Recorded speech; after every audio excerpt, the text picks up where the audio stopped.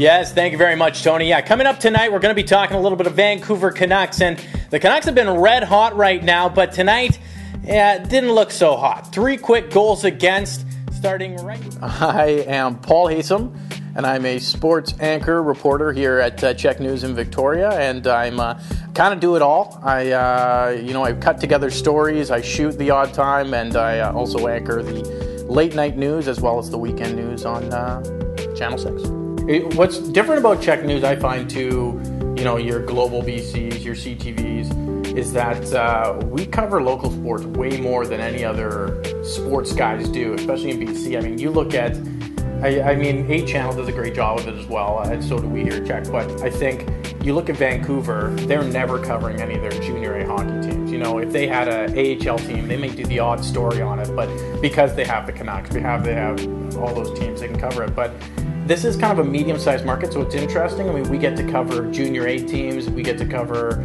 lacrosse, you know, amateur athletes, and that's what's really cool is that you have such a close connection to the sporting community. Like Salmon Kings, I know every single guy by name. I have all their cell phone numbers, so if anything breaks, we know exactly how to get on it.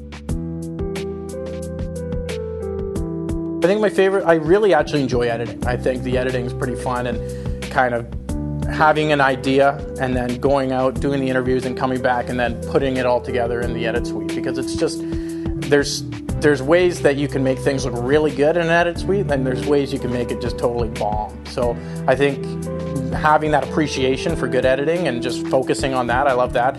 I mean, being on TV is pretty fun too. I mean, talking and bantering with some of the anchors and just kind of having free range in sports. It's not, no one's dying. It's not car crashes, right? So we're not talking about anything like that. So you can be pretty, pretty light on air. You can have fun. We can show different things. So I think that's uh, a big thing. I really, I really enjoy as well. I think Vancouver is where I'd like to end up eventually. I'd love to be covering the Canucks in some capacity. I think Dan Murphy has the best job in sports, and you just travel with the Canucks and talk about hockey all day. Come on, really? So uh, I think right now I'd probably it, any major market I'd probably go to. I'd probably and, and I am. I mean, I've pushed. I've sent demo reels out. I've done that kind of stuff. I mean, you're still.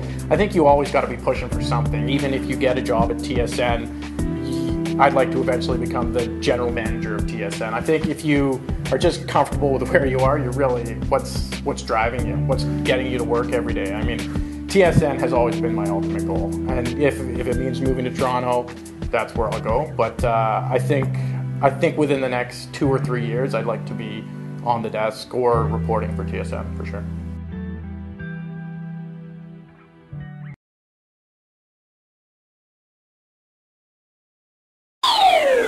This production brought to you by v3world.net.